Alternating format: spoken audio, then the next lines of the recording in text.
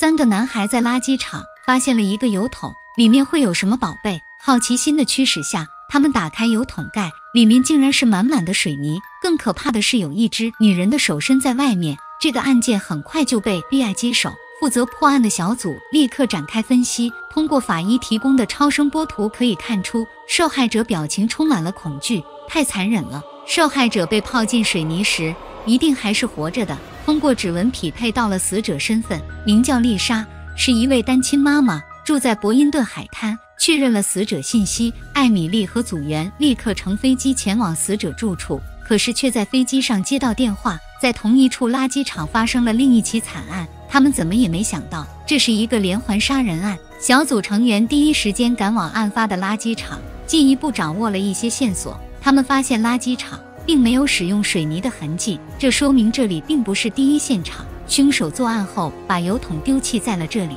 跟法医了解情况后，发现第二名受害者腐烂程度更高，而且嘴里、肺里全都是水泥。受害者也是活活被呛死的。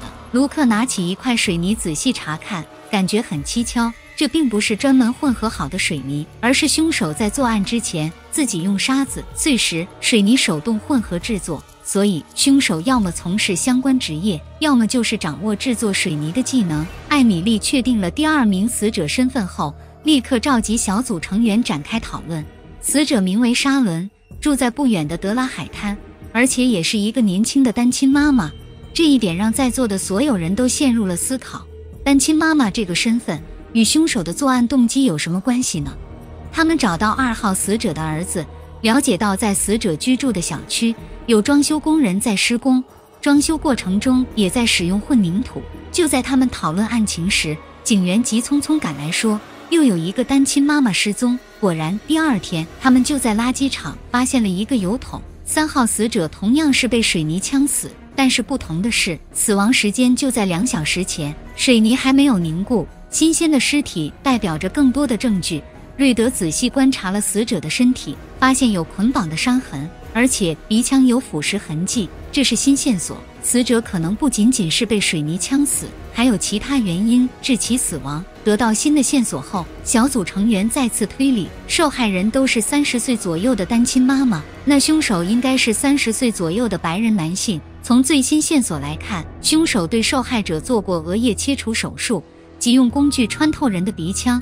往大脑里注射氯气，额叶的功能是控制冲动和抑制作用，因此他们推测凶手是想通过额叶切除来使受害人变成奴隶。这时，加西亚又通过调查发现，三名死者居住的小区属于同一家物业公司，那么嫌犯的范围进一步缩小，凶手极有可能就是这家物业公司的员工。同时，他们又想到那个可疑的垃圾场。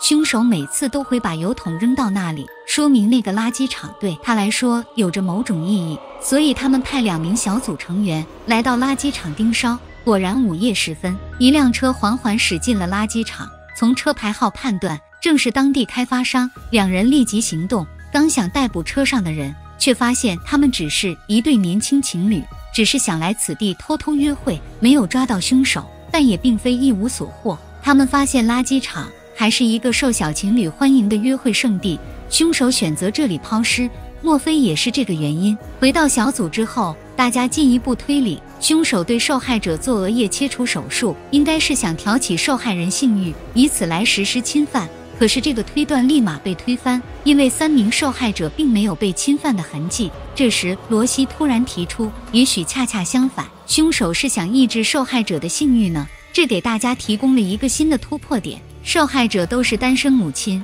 凶手很可能是想通过这种方法让受害者成为禁欲的模范妈妈。那么，凶手的妈妈或者身边亲近的人极可能有额叶受损的经历。推理到这，艾米丽迅速让加西亚调查有过脑损伤的三十岁左右的女性都有谁，搜索出十九个人，而额叶损伤的只有一人，名叫莱纳尔。他十五岁时因车祸患上了双侧额叶切除综合征，这会导致他性欲亢奋。可能他的私生活混乱引起了凶手的不满，再想到偷情、性紊乱，简单的额叶切除，凶手的年龄应该缩小到二十岁左右。终于找到了一个符合侧写的嫌疑人，莱纳尔二十岁的弟弟斯图尔特是莱纳尔车祸一年后他母亲领养的孩子。然而，随着加西亚调查的深入，发现事情真相并非如此。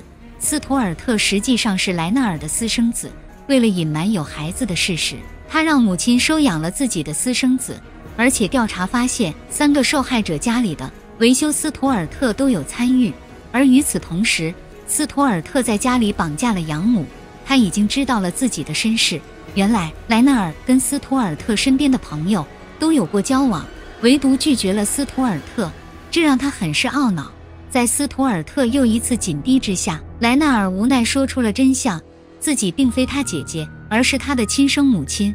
这给了斯图尔特致命一击，他根本接受不了这样的事实，最终走上了犯罪的道路。现在他连自己的养母，也就是他的外婆也不放过。他拽着惊慌失措外婆，用力一推，外婆重重地摔进了坑里。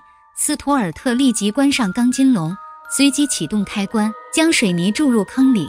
看着水泥一点一点淹没自己，外婆大喊着救命。就在这时，警察及时赶到，控制了疯狂的斯图尔特，救下了外婆。震惊全美的水泥藏尸案最终告破。这个令人痛心的惨剧也告诉我们，每个孩子的健康成长。都离不开健康的原生家庭环境。